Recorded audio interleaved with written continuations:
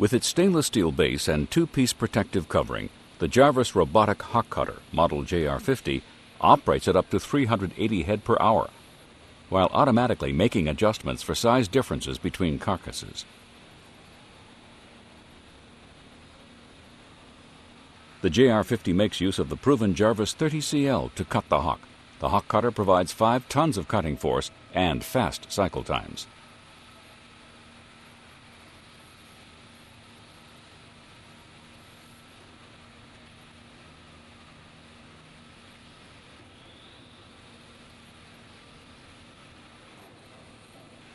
The system can be adapted to any type of slaughter line and is customizable to meet individual requirements of the end user.